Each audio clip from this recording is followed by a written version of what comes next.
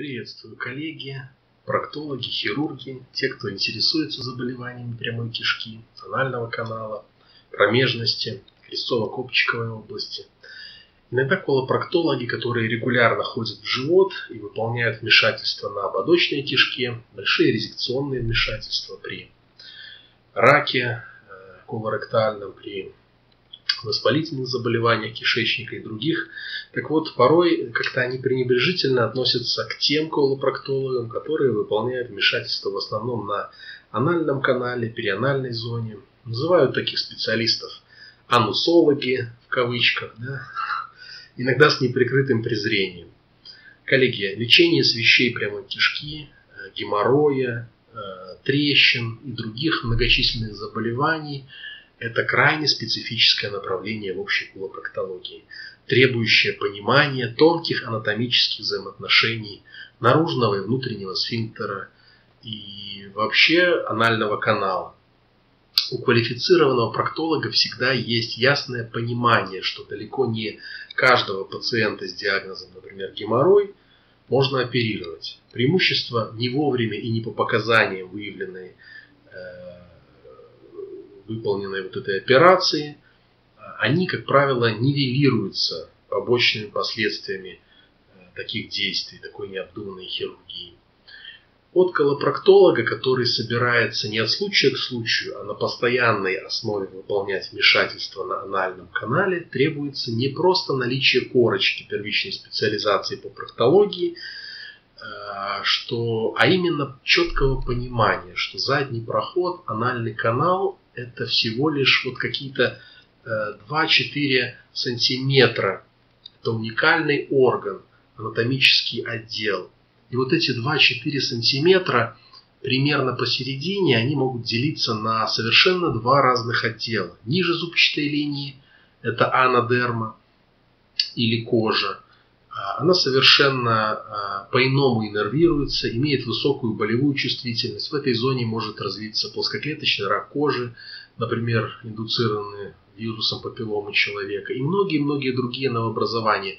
А выше зубчатой линии на совсем небольшом расстоянии располагаются а, внутренние геморроидальные узлы, которые покрыты слизистой. слизистой. То есть не кожа и имеют совсем другие источники иннервации и механизмы иннервации. Там по совершенно по другим э, вообще э, по-другому устроен рецептурный аппарат. И это все на 2-3, повторюсь, на 2-3 э, сантиметрах такой орган, представляете? А у женщин э, вообще это буквально 1-2 сантиметра небольшое пространство. То есть это очень тонкая структура. Несмотря на то, что выше зубчатой линии как таковой болевой чувствительности нет, там находятся другие рецепторы э, и механизмы иннервации, которые отвечают за нормальный акт дефекации. Это крайне сложный процесс, где задействованы как рефлекторные, непроизвольные, так и произвольные компоненты мышечного действия сфинктерного аппарата именно вот эта зона, воронка нижнеампулярного отдела прямой кишки, она очень важна для качества жизни э, пациента, для э, того, что говоря простыми словами, ну, может, чуть вульгарно выражусь, может ли пациент безопасно пукнуть или во время этого действия у него, э, у человека нечаянно выделится стул, да, будет коломазание и так далее. То есть надо понимать, что задний проход это не просто геморроидальные узлы, э, наружные, внутренние и зубчатая линия, а это еще как минимум две мышцы. Одна из них это внутренний сфинктер, который является продолжением э, стенки прямой кишки, э, то есть мышечной оболочки, то есть гладкая мускулатура, которая работает по своим законам, и другая, которая обхватывает ее, это есть наружный сфинктер, продолжение леваторов в тазу.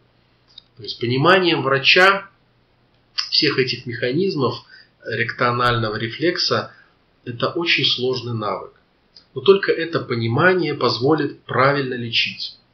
А, сложный навык для общего хирурга вообще определить, где находится ректосигмоидный отдел, что вот эти э, тении, да, которые э, хорошо видны при операции на ободочной кишке, при той же аппендэктомии в слепой кишке мы ориентируемся на тени, когда э, выполняем поиск червеобразного отростка. Так вот, они в прямой кишке сходятся в единый мышечный каркас, то есть э, то место, где они сливаются в единый э, мышечный слой, вот от это и называется ректосигмоидный отдел. Это все нужно понимать проктологу, который оперирует на прямой кишке. Именно в зоне, где лежат эти наши э, несчастные внутренние геморроидальные узлы, вот там, в той зоне, находятся э, рецепторные зоны, которые формируют воронку. Э, и при том, что вначале происходит расслабление внутреннего сфинктера и в то же время напряжение наружного. Частички каловых масс как бы воздействуют э, попадают в этот отдел и в зависимости от температуры, как температурные датчики, да, определяют, что это газ, жидкость или плотный участок фекалий. То есть этот аппарат сам определяет, можно человеку сейчас э, пукнуть или нужно придержать его усилием воли и затормозить рефлекс.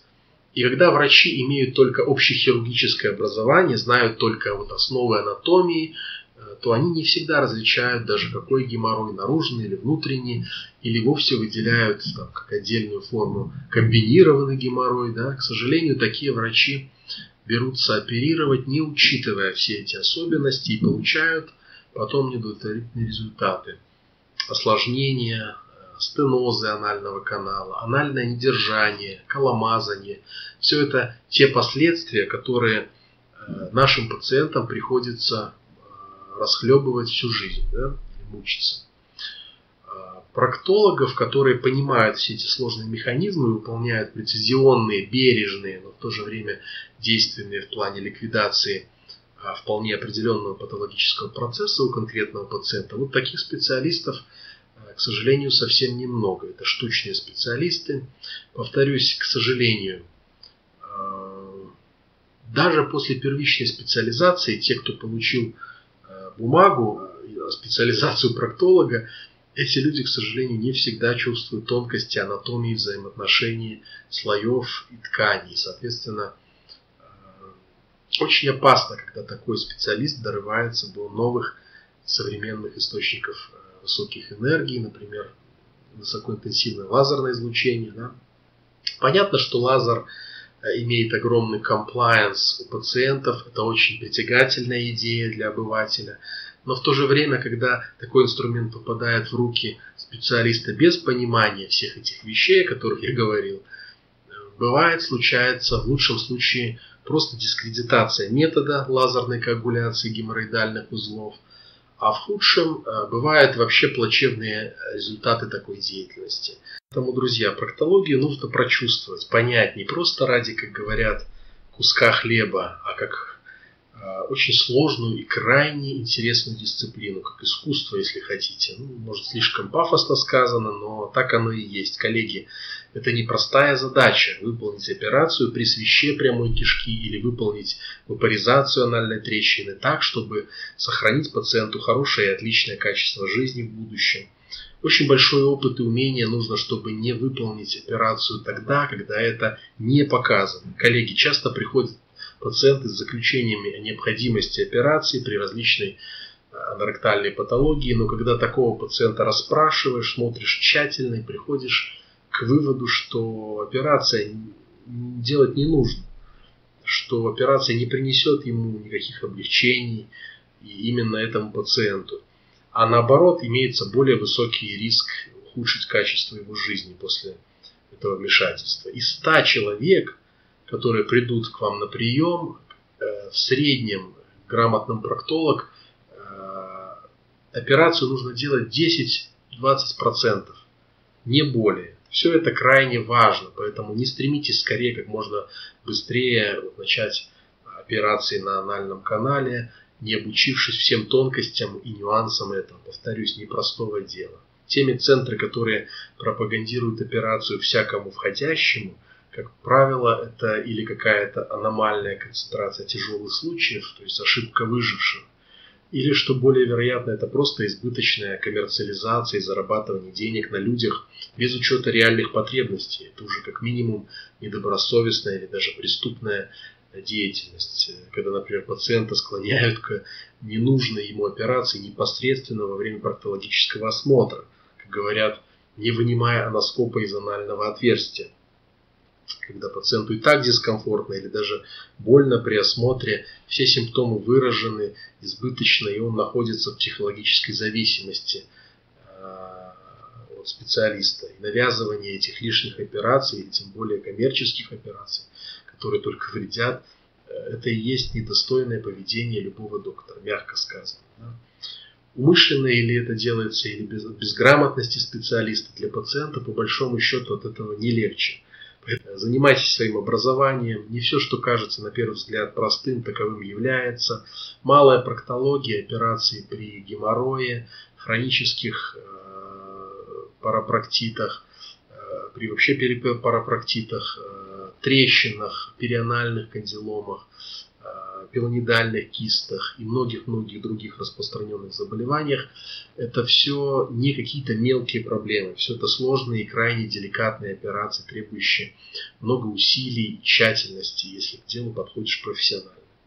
Друзья, благодарю вас за внимание. А, всего вам самого доброго. До свидания.